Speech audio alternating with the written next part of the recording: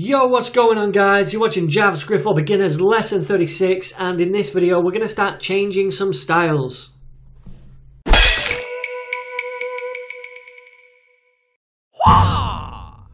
Okay then, so in the last video I showed you guys how to dive into this HTML, grab an element, then read or set the attribute values using two methods. That was get attribute and set attribute. Now we can do the same thing with the style attribute. So I'm going to do that first, okay? Then we're going to look at the style property.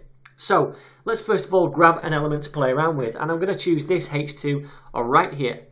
It's got an ID of page title, so we'll store this in a variable, we'll call it title equals document.get element by ID, and then we'll pass in the ID page hyphen title, and that is going to store this element right here in this variable.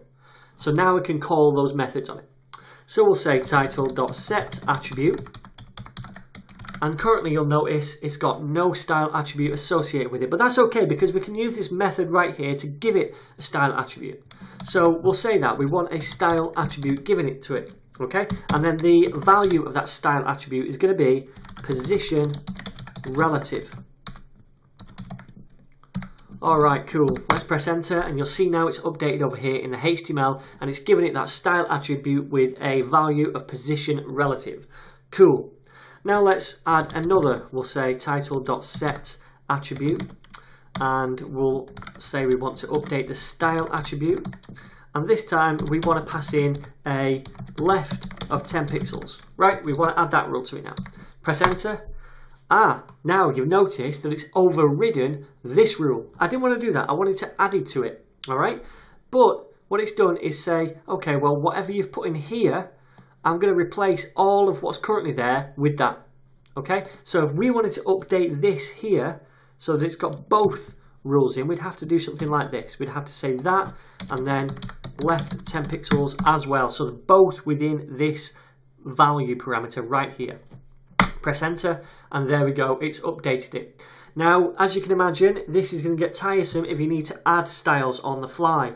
And technically, you could do it by substituting a variable in here to grab the current style content and then appending to it, but again, not the best way of doing it. I prefer to use the style property, and that is something like this. We'd say title, dot style, and then dot, and then we'd say whichever uh, property name, CSS property name, that we want to update.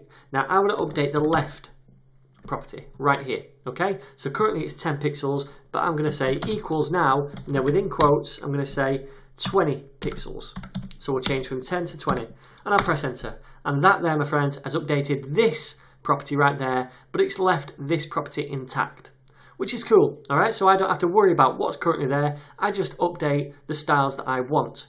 So we can do this again. I'll say title.style.top, and then give that a value of 10 pixels, and press enter and cool. That's worked as well. Let's do another title.color set that oops title.style.color beg your pardon. And set that equal to red. Awesome. That's updated there as well. Now what if we do something with two words? We'll say title.style dot and then we'll say background color background hyphen color this is how we'd write it in css right and we'll change that to blue. But in JavaScript we get an error and that's because of this hyphen right here. When we update properties this way we don't use a hyphen, we use camel case. So this in fact would be, let's copy that, paste it down here. This would be instead background colour with a capital C and then we set it equal to blue.